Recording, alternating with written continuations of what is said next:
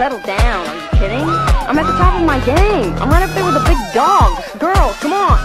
Leave the saving the world for the men? I don't think so. I don't think so.